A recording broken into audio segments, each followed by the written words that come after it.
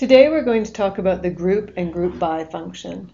The group function is used when you have a set of data that repeats values and you want to just see the unique values in your data source. I would like to use this data source here to build a bar chart that shows the countries along the x-axis, the unique country values, and their corresponding sum of their target values as my series. So I'm going to select the x-axis values, column A, and as you can see I get repeating values along my x-axis. First thing I'm going to do is use slice to get rid of uh, the column header of country.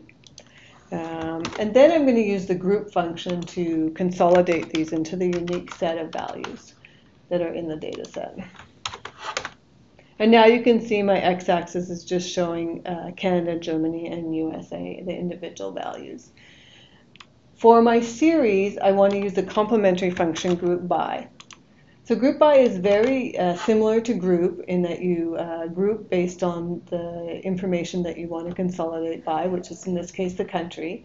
I'm going to change my formula to group by, and then I'm going to add in the second parameter, the measure, uh, which is a target value.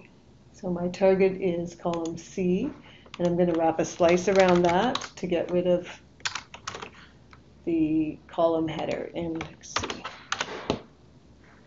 So in that way, I have the total for Canada, Germany, and the United States uh, grouped by country. And that's the group and group by function. Thanks for watching.